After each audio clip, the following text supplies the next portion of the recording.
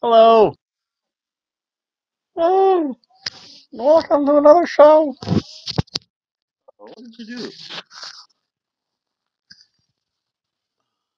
Keep closer. Oh, welcome to another, to another show with this fat bastard. Oh, knocked my microphone out. She's. What's wrong with you? Hi, my name is Hobo Tom. You're watching the, the Hobo and I guess almost girlfriend show. Still working on that, folks. But we shall see. Oh, yeah, that's right, because I had breakfast this morning, too. Yep, because I'm still at work. Or I'm doing my work, which is fun. It's always fun to do work at home. So much easier life. But more importantly, just for you folks, um, have one announce or one scheduling thing and some predictions. Dr. Tom doesn't like coming over here. I don't know why he doesn't like that. Guess he doesn't like me. Maybe I'll have him on next. Maybe he'll do do all elite wrestling. Maybe he likes better wrestling because right now WWE's been pretty interesting. I know there's been a huge debate about the Kabuki Warriors, which I did not know has two meanings, but it sounds about right from the little I know about Japanese culture.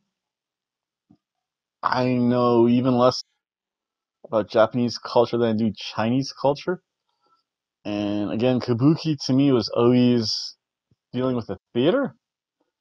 I guess it is, I guess there's also a second meaning, whereas it can be anyone, the most part, who's flamboyant, woman, I think, who's flamboyantly dressed. Hey, I just try to do some research about it, try to educate myself, try to make my, try to make myself better. Oh, what is going to be match of the night? Snooze. Oh wow, did I have a double snooze? Wow. No, I can't have a double snooze. That's unfair. Do have a little bonus. But enough about that. Let's talk about some money in the bank. Oh, one day I should show you my little container of money, my boat fund money. Not the way things are going to work. Although maybe the price of aluminum will go up. Oh, but unfortunately, there's also one sad note. I Don't remember seeing her. So I think this is when I kind of tuned out of the WWE mainly because I think every night was a bra and panties match. And there was, I think during this, Eric Bischoff's HLA. Hot lesbian action. And yes, it was great for one or two, but when it happened every single time over and over again, if it didn't meet the expectations of the previous show, it kind of fell flat. And I think the wrestling at this time was lackluster. I think the only notable person was, I think, Chris Jericho. Well, the two notables that I remember Chris Jericho, probably Edge, and Randy Orton. But things were not good in the WWE at the time. Unfortunately, um, there was a death. Ashley Massaro passed away, I think yesterday, yesterday or late Wednesday. Yeah, it's either Wednesday night, Thursday ish. I didn't see a lot of her. I think that's when they were really the right before the Divas time period when it was known for scantily clad women, um, women licking each other, which isn't bad, but when you watch wrestling, yeah, it was kind of cool, but it was again that that same thing over and over over again. And the women's wrestling for its time was terrible. So with that being said, um, unfor- this is this is weird because than me, man, I have to be careful. I think 51's the magic age where wrestlers die, and I'm only eight years away from that. That's not good. Well, not from dying, I hope, but so I'm 43, 51. Yeah, that's eight years. That was, of course, Silver King. I made a tribute to video. And this little tribute, again, person who probably passed away way too soon. I don't really want to speculate, but when you go that early, something's amiss.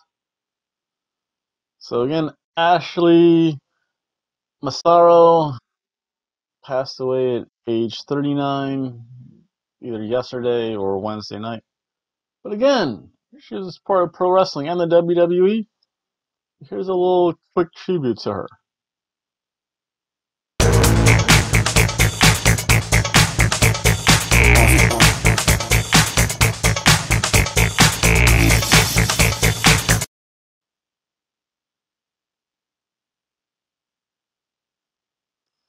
I don't remember her in the ring. I don't remember her skill set.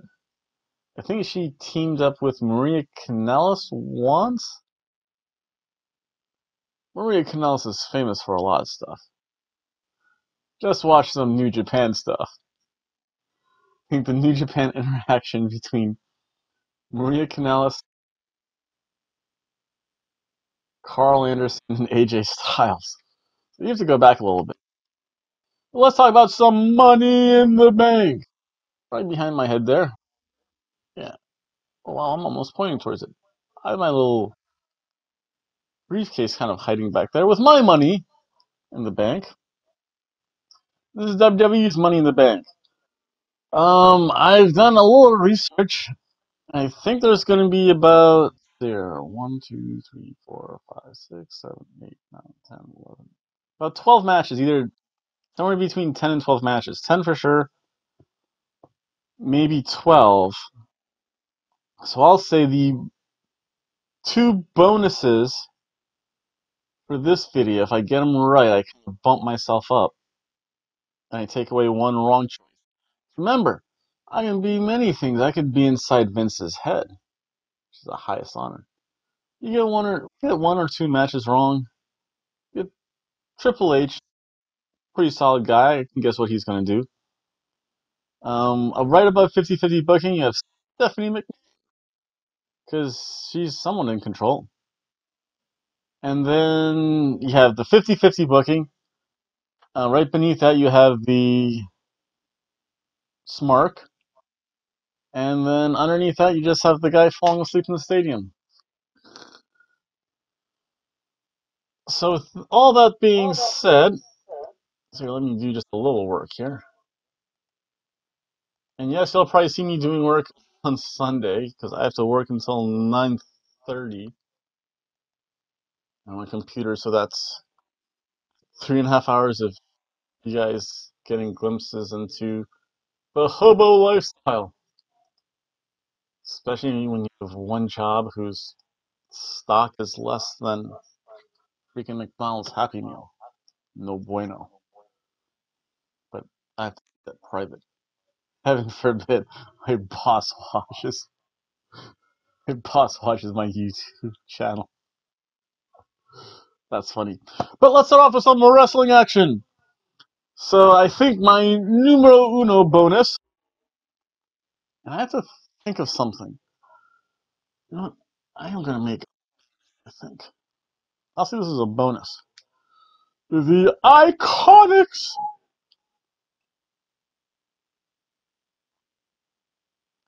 Take on the Kabuki Warriors and Kairi Sane and Asuka. Um, if that team, if, if they do face each other, I think the Kabuki Warriors, Asuka, and Kairi Sane are going to win. That's my prediction. Again, this is a bonus because it's been said. It's I think it was reported one website. So there might be this match. One website I think had 11 matches. One website had 12, and this will be the 12th match. And I don't know if that's going to be the pre-show or not. It's kind of that up in the air. What is been sneaking right now thing. We get to the pre-show, um, you have Tony Nese versus Ari Daivari.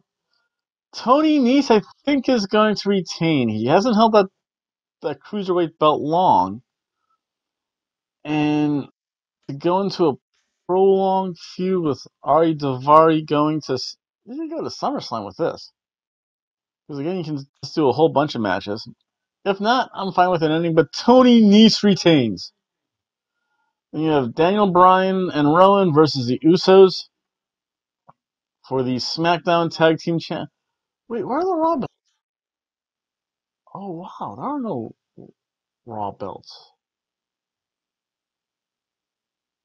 Wait a second. This is going to be an interesting pay per view. Enough about that though. Daniel Bryan versus and Rowan versus the Usos.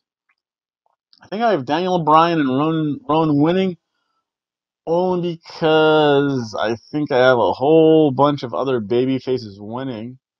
I need some heels because if not, it seems way too obvious. So I say Daniel Bryan and Rowan beat the Usos. That should be a pretty fun match. I don't know why. Why would you put Daniel Bryan and the Usos the pre-show? I don't know. And then you have Samoa Joe versus Rey Mysterio for the U.S. title. I think Rey Mysterio is going to win. I think this is going to be a pretty good hot potato feud. Um, bouncing that belt between Samoa Joe, Rey Mysterio, and eventually gets in the picture Andrade Cien Almas. So Rey Mysterio is going to win. Then you have in the steel cage, The Miz versus Shane McMahon. I think The Miz has to win this. Um, Shane has nothing to gain by winning in a steel cage. At least Shane gets to go away for a little bit. So I think The Miz retains. It's going to make him look strong. That makes sense.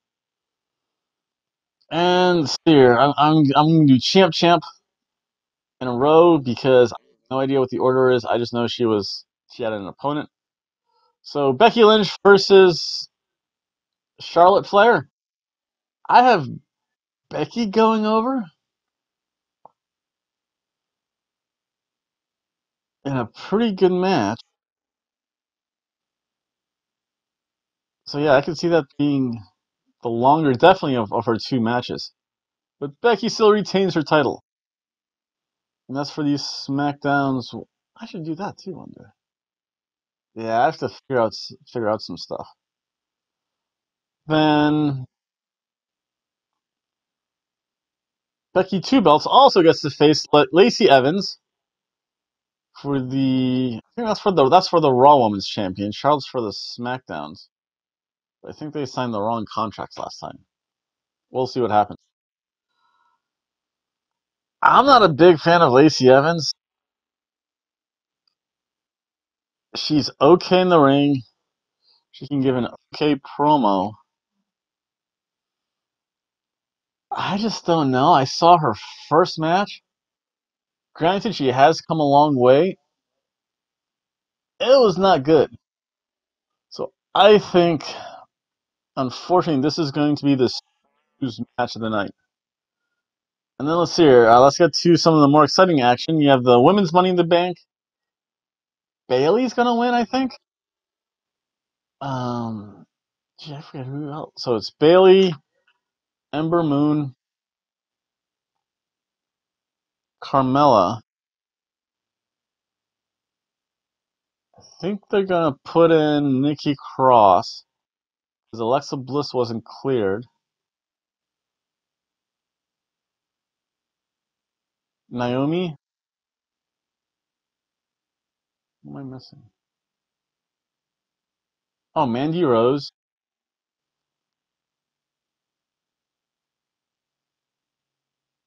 And no, I'm missing one from each side.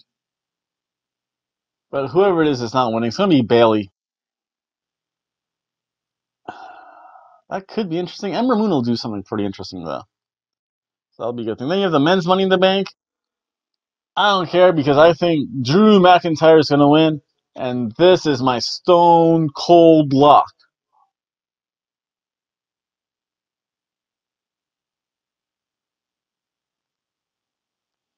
Because in that, it's Finn Balor. He's not winning. He's already IC champion. Sami Zayn already had his moment because he got in the match. Drew McIntyre, Baron Corbin, Andrade kind of had his moment. Ricochet already. I already mentioned Drew. Who's number eight? Whoever it is isn't winning anyway. So it's through McIntyre. See the Scottish headbutt reigns supreme. Then you have Roman Reigns versus Elias. Roman Reigns, I think, is going to win. They're going to give again the face the face the win. Yeah, that's good. That makes Bayley could cash in. With Becky and that would that'd be fun. Or Bayley gets something. Goes to Smack, beats Charlotte. That would be fun too. Yeah, Bayley makes. Roman Reigns is going over. He's going to defeat Elias. Ace wins. Then we get to the interesting matches. Um, Kofi Kingston versus Kevin Owens. I'm torn because I don't think Kofi's a transitional champion. But this is one of those things where they could hot potato that belt between the two of them and really have something going for SummerSlam. I think.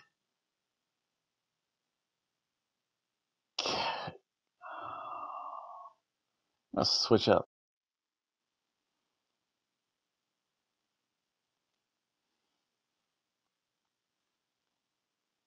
Kofi Kingston's going to retain.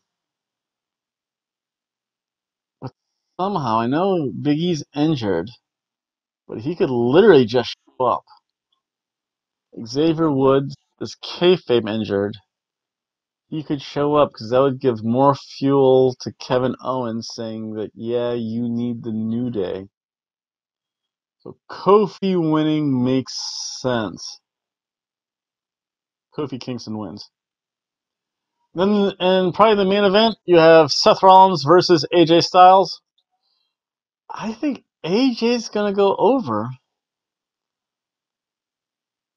and I have a funny feeling, only because again I do kind of watch the wrestling shows. Brock Lesnar might distract Seth enough to cause Seth to lose the belt. AJ picks up the belt, and then they have oh those two could have a feud going into SummerSlam too. I'm gonna say AJ Styles, but more importantly, this is the match of the night.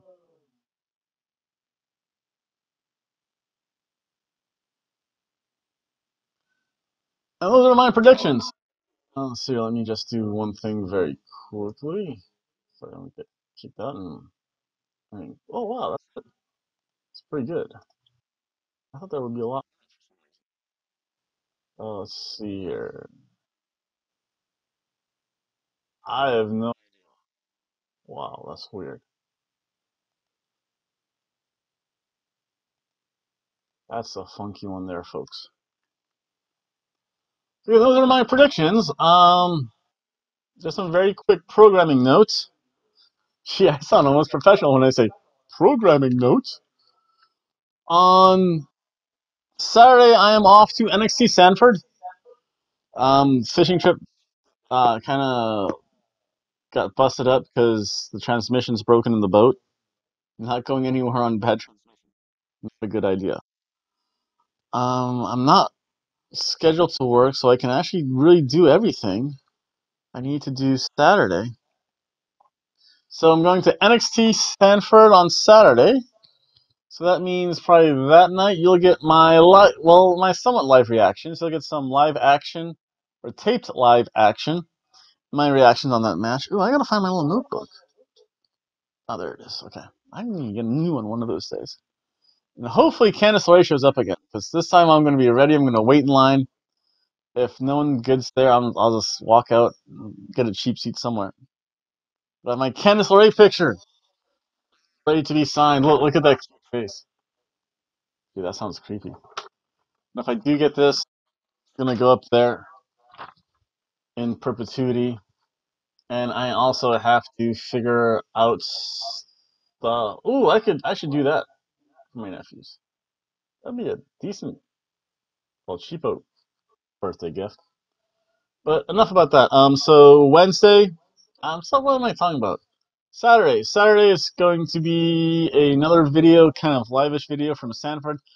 I'll apologize in advance for the quality. Um, I have my El Cheapo camera, and Sanford Air Arena does not have the best acoustics nor lighting. I have sometimes a whole bunch of other technical issues there. Sunday, well, I and well, I have to set it up too. I have to make a thing for that. It's going to be Money in the Bank, and I'm making that gift tonight. It's going to be Money in the Bank. It's going to be a live stream reaction because I figured out how to get some wrestling for free. Email me if you want it. Um, again, Monday it's going to be Monday Night Raw. Tuesday SmackDown.